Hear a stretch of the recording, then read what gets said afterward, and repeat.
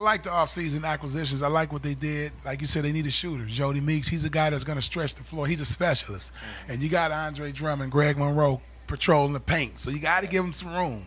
Uh, uh, Augustin, he's really he had a very good season with Chicago. Uh, tough guard, really good in the pick and roll. Um, can shoot the outside shot. I think that's going to help. So uh, Caron Butler, a veteran who's been super solid in his career in the NBA. So bringing him, I think, is big. So um, and Van Gundy, you know, I think he'll command respect. He's going to be a guy that can come in and I think they'll respect. They'll play hard for.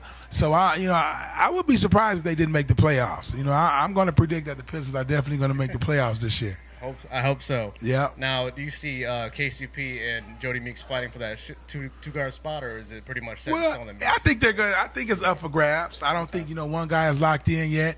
Uh, KCP.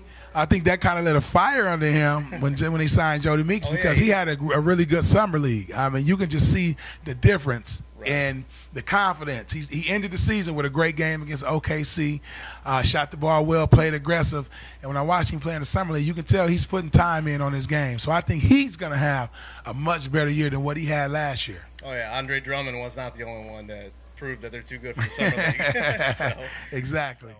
When you can't be at ringside, bring it home with Head Drop Productions. And be sure to check out iFolloSports at ifollosports.com, Facebook, Twitter, Instagram, and YouTube.